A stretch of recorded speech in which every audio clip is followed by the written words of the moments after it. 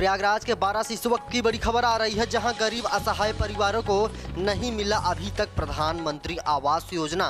गरीब अंचल में गरीबों को छत मुहैया कराने के उद्देश्य से भारत सरकार के द्वारा प्रधानमंत्री आवास योजना जैसी योजनाएँ दी जा रही हैं।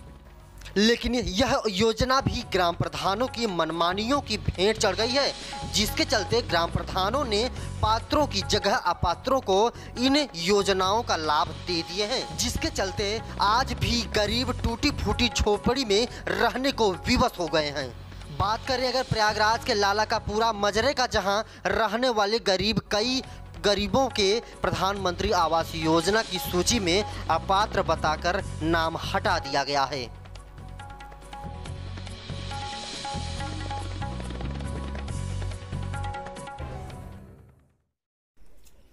माता जी आप यहाँ कब से रह रही हैं?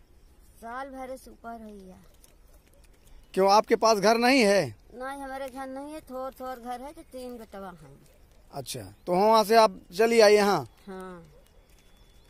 तो आप प्रधान से नहीं कहे कि हमारे पास मकान नहीं है तो आपको कॉलोनी में दिया जाए? चक्कर आए चाहे सब देख गए हमका प्रधान कहें हेठिन बनवाऊ होठिन बनवाऊ कभू नहीं बनवाए जगह नहीं कोठरी का हम मांग चुका आपका नाम? मान नाम ज्ञान पति का बता नहीं कौन सा गाँव है? लाला